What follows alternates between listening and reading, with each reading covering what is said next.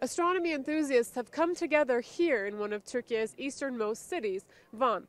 This skywatching event intends to bring together astronomy, technology, and nature. The nature element is actually right behind me, the famous Lake Van, but you may not be able to see it in the dark.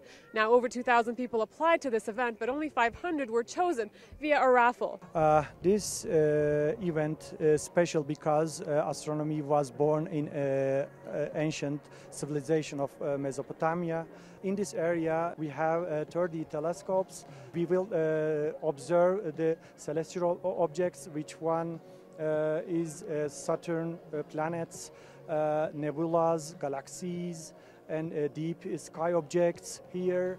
The event also includes presentations on topics such as exoplanets, close flying asteroids, and satellite technologies. And students are here to soak up on the information. I'd like to ask one of the students about her experience here. Hi. um, I'm uh, undergrad, an undergrad student in Istanbul Technical University.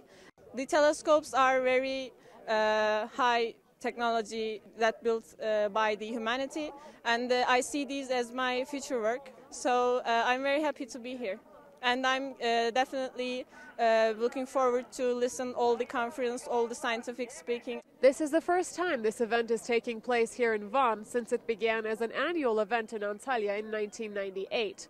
This is actually the second of four similar events taking place in Turkey this summer. There will be one in Erzurum at the end of this month and also one in August in Antalya.